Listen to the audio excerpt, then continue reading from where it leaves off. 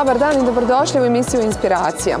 Danas u Inspiraciji razgovaramo o jednoj tematici koja nije dovoljno zastupljena u medijima i koja zapravo bi trebala što više biti promovisana u Bosni i Hercegovini, a tiče se teme djece, odnosno djece bez roditeljskog ili neadekvatnog e, staranja.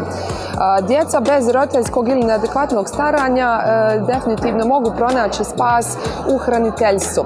Hraniteljstvo jeste oblik izmještanja e, djeteta iz različitih institucija u domove ljudi koji su spremni pružiti mu ljubav, podršku, sigurnost i zaštitu.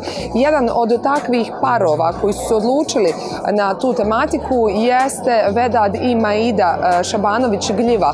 Mladi bračni par koji nakon 14 godina nemogućnosti imanja vlastitog djeteta su odlučili spas pronaći u hraniteljstvu i pružiti jednom djetetu sigurnost i topao dom. Poslušajte njihovu priču u nastavku.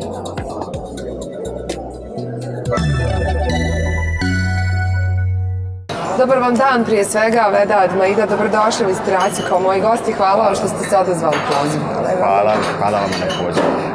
Ovo nekako je vrlo važna tema o kojoj ćemo danas razgovarati i znamo da u medijima uopšte ne posvećuje dovoljno pažnje o pojmu hraniteljstva zapravo.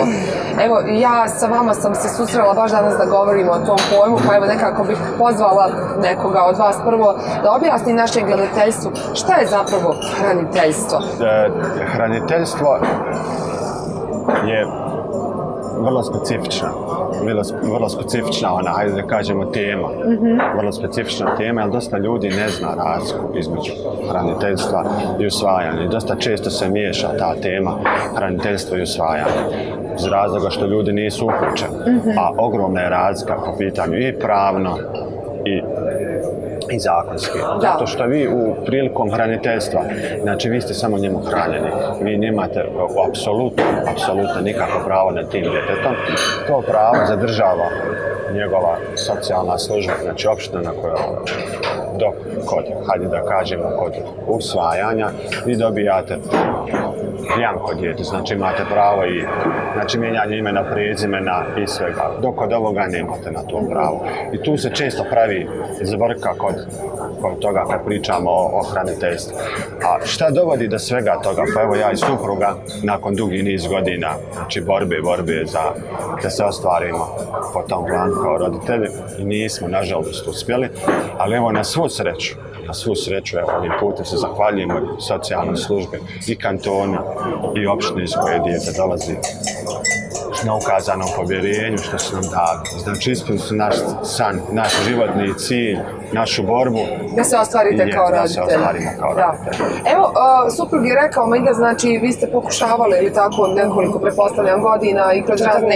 14 godina pokušavali se ostvarite kao roditelji i uh, nekako baš se desio jedan dan da se vi vozite tramvajem i da vi vidite jedan plakat na kojem je nešto pisalo u vezi upravo spomenute tematike o koje niste do sada se susretali. Pa znate kako, ide prvi val korone i onaj, kako se zove, ja i suprug smo renovirali nešto kuću i stan u stvari u kojem živimo sad sa bebom. Onaj, I nešto smo pričali, tako kao fali nam još djece. Sve imamo, hvala Bog, samo nam djete još fali. E, desilo se to da sam ja jedno, jedno jutro išla u travu i vidim plakat služba za hraniteljstvo. I čisto onako informativno i radi svoje neke želje. Znati želje. Znati želje. Uh, zabilježim broj telefona, zapamtim. I dođem kući i kažem suprugu koja ću nazvat. Kaže, meni ti nisi normalna. Rekao, ja odo probat, pa šta Bog da. Šta je to? Vjerno ste se pitali, šta je to? Ja sam na poslu bio u tom trenutku, kada ona mene nazove i u svojoj toj zbrci ja kažem, ti nisi normalna.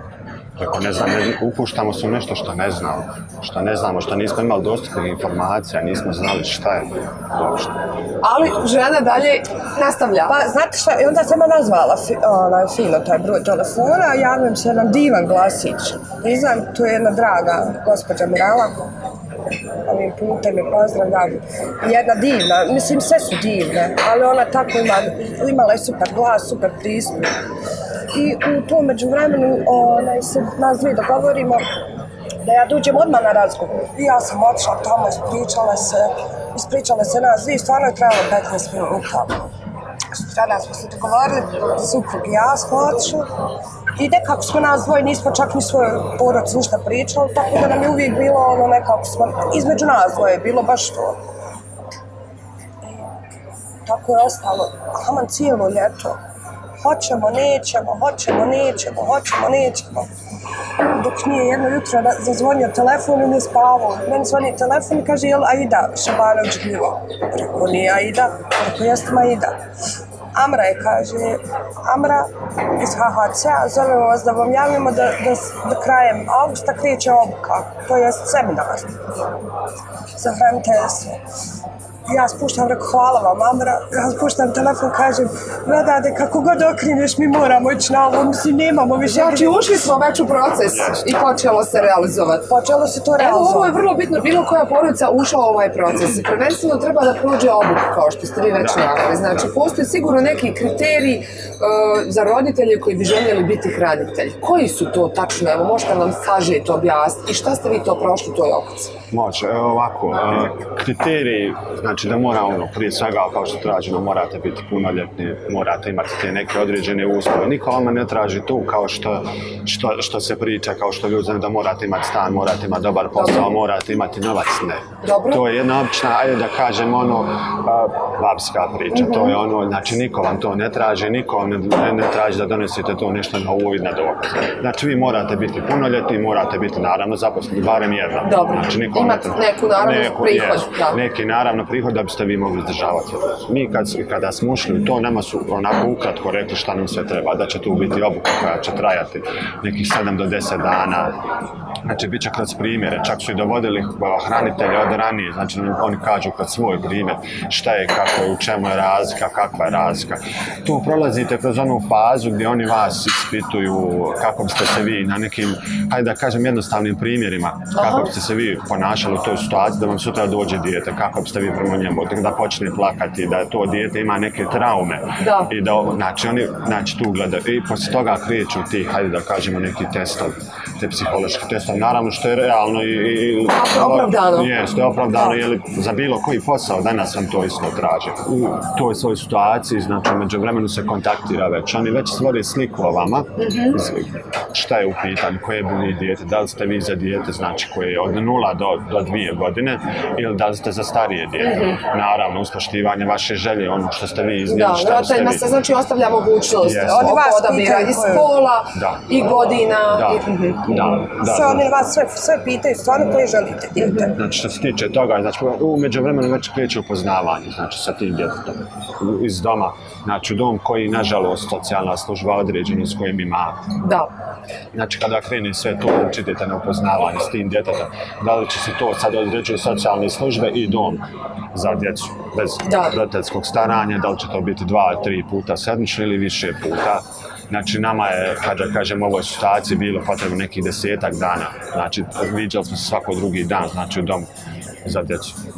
Za, o, bez bez roditeljskog staranja. Znači, sva djeca koja zaista su u programu hraniteljstva su u domu bez roditeljskog staranja. Yes.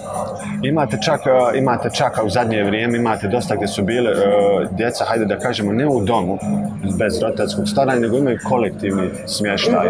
Znači, djeca gdje- gdje su kojim su hitnim postupkom oduzeta ili izuzeta iz Porodica. porodica, znači oni se trenutno, znači privremeno smještaju u znači, kolektivni centar. Vi ste znači nakon upoznavanja a, sa vašom bebom a, odlučili naravno da je to ljubav na prvi pogled, da će to ljubav trajati do kraja života, pretpostavljam.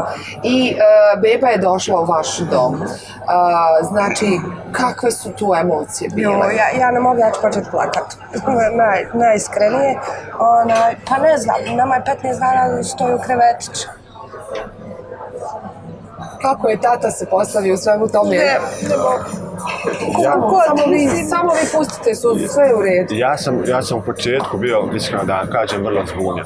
Nakon 14 godina mukotrpne borbe da se ostvarimo kao roditelji to, hajde da kažemo, neuspjeha, ma da ga ne zovemo neuspjehom, jer smo evo uspjeli.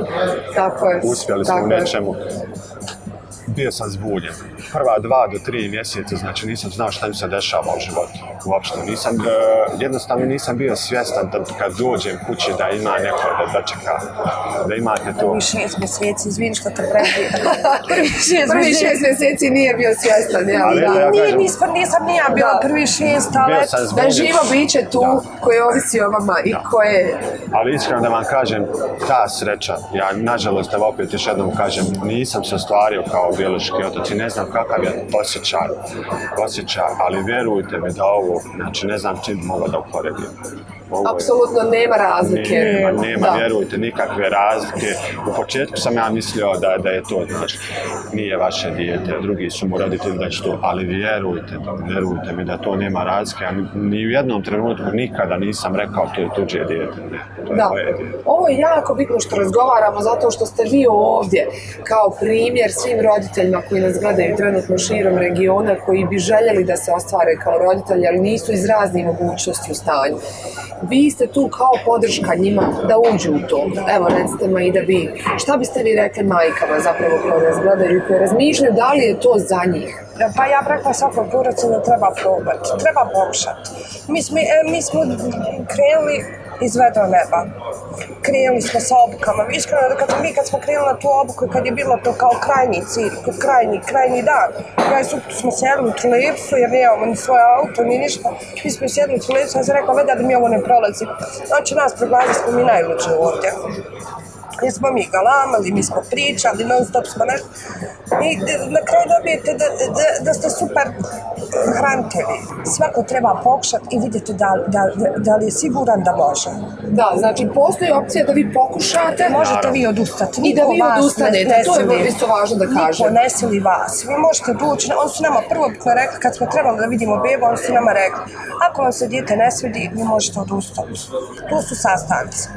Kad vi vidite ili vidite dijete, upoznate dijete, nešto vam ne odgovara, niko vam neće reći od njih, onaj, ne, da vi to morate. ne Da. mora, ništa se ne mora. Ovo je, do, ovo je dobro.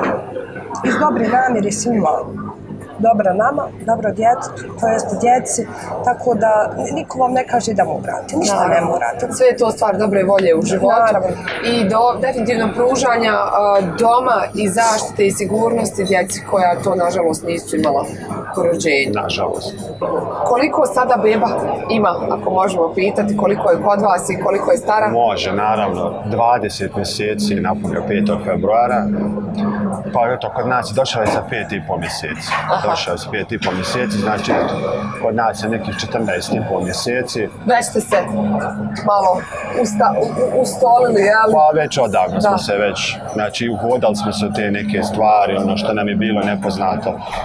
I od, kroz priče ljudi koji imaju svoju biološku djecu, nama je to uvijek bilo, pa nije to tako, nije to tako. Dok ne dobijete svoje dijete, taj sjaj u očima, taj osmijeh, ništa ne može zamijeniti. Neprocjenjivo. Neprocjenjivo. To jutarnje skakanje, to buđenje vas, to, znači ne može se opisati riječima.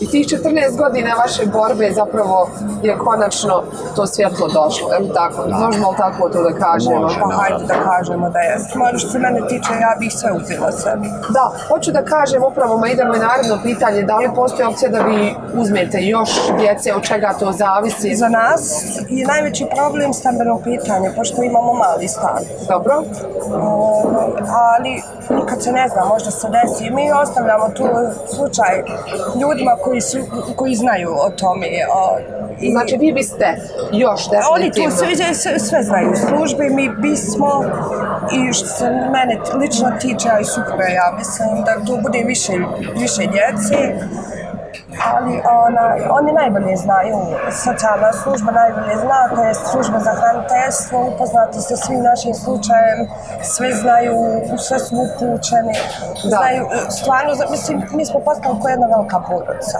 Tako I u stvari više nemamo taj profesionalni, sad smo jedna velika porodica i ja mislim da smo svi hranitelji e, taj, svi jedna velika porodica i svi se pomažemo jednim drugima i i upoznaješ neki novi ljude i ostaneš zatečen tim životnim pričama drugih ljudi. Mislim, bilo je ovako, nemaju svoju biološku djecu, imaju svoju biološku djecu, žele da usreće još djece, ne žele da, da budu samo sponzori, pošto ima u SS a, dječjem selu, nego žele da, da, imaju to dijete, da se brinu o tom djetetu. Jeste li vi još upoznali neke porodice Da. koje su hraniteljske? Da. Da, da. I znači ima ih, postoje, dobro? Ima ih. Jako, e, nažalost, evo opet kažem, jako mali broj.